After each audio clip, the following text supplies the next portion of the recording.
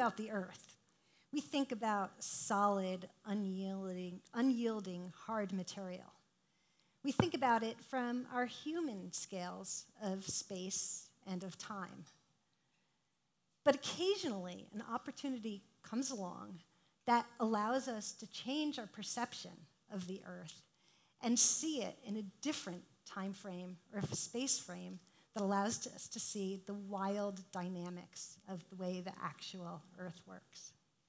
This is a classic video. It's shown to probably every single first year engineering student and for several generations. My, my dad said that his professors saw it when they were engineering students. Um, and it, it's to motivate the study of the differential equations that, that govern the behavior of, uh, of our materials. So let's start with the rocks. Let's start with the rocks of the earth and look at them and think about them. So at the very center of the earth is a solid iron core, basically the same exact type of iron that you'll cook with with your stainless, um, with, your, uh, with your cast iron pot. As we go up, we can reach down into the mantle. If we were able to reach down into the mantle, which is most of the earth, we would pull out a rock that looks like this crystalline green beauty, a peridotite. We see this as just a hard green material. And then further up towards the surface of the crust, we can go to Yosemite and we can climb on the granite and explore that yielding earth. So, what I'd like to do now is zoom in to what those rocks look like. And so, this is the picture now, zoomed in 10 orders of magnitude in space, and then slowed down 12 orders of magnitude in time so that we can see the atoms and the molecules that make up our rocks are actually vibrating. And, um, and this dynamicism is what lends the rocks their physical properties. We could zoom in even more and look at this is actually uh, some iron, a piece of iron at an incredibly microscopic scale, and we can see that all of the atoms, the iron atoms, are vibrating, and actually they're waves, like my arm slinkies, at that micro scale. So, what we study in our laboratory is exactly the properties of these materials, the dynamic properties of these materials.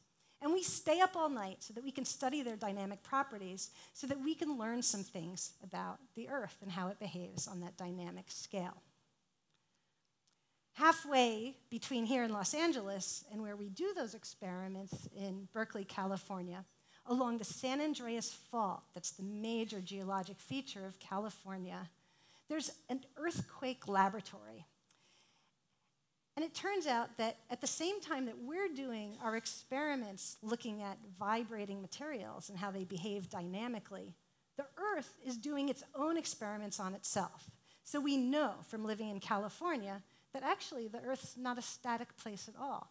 That occasionally, if you look very closely, you can see or feel the Earth shaking beneath our feet. And so this is a picture from Parkfield, California, a USGS run earthquake laboratory that measures these earthquakes when they happen, measures everything about them. When the earthquake is strong and powerful enough, it can send waves all throughout the earth, and they're detected at different sites on the surface of the earth. In fact, if the earthquake is powerful enough and strong enough, it can ring the earth like a bell so, just like the sounds that the musical instruments are playing when we're hearing the music beforehand, um, if we slow that vibration down, we're actually seeing the earth ring like a bell. And that ringing like a bell tells us something. The tone, the music that seismologists, earth scientists listen to, tell us about what's happening on the inside of a planet. So, just like a sonogram can give us a picture of the bun in the oven, the earth music, when a large earthquake rings, gives us a picture of the interior structure of the planet. When we put together what we learn in the laboratory about the dynamic behavior of materials and what we can measure on the Earth about its dynamic interior, we can put together models of now what is actually on a very um, uh, slow time scale a picture of a convecting, moving planetary interior. So this is a computer convection model.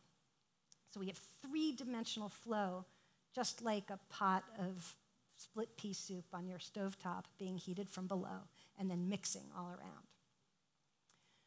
We can also do experiments on convection, convection in the laboratory. So now this is back to our human scale of space. This is a tabletop experiment and time. We're actually watching molten wax being heated from below, freezing at the surface, and spreading out along the sides.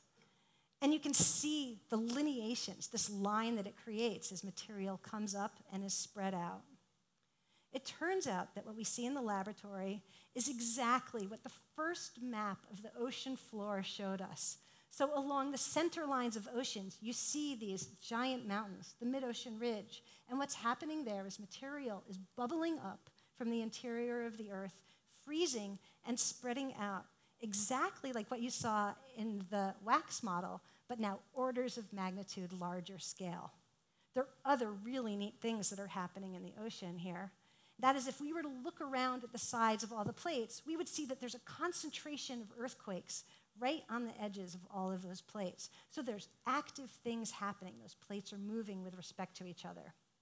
We can also look at volcanoes and find out that the volcanoes also occur where these plates on the surface are moving down very slow time scales deep within the earth, bringing the ocean along with it, heating up and creating giant explosive volcanoes all around our Pacific Ring of Fire. What's happening is as, as material is being pushed down here, or as it's coming up from the center, it's actually being pushed down in these giant plates on that side. And as that happens, it's pulling the earth with it along the way. So what you can see is a giant three dimensional convection cell. So it's a fancy soup with a solid surface of scum on the top sorry to say, crustal geologist. Um, but let's, let's take a look at that, what's happening on the two dimensional surface. So if we look now at a map going way back into Earth history, so this is a billion years ago out of our four billion year history, we can see the two dimensional plate motion. As we watch it coming into the present, you can watch the whole Earth change shapes with time as it's now moving across the surface to our current state. It's stopped now because that's where we are.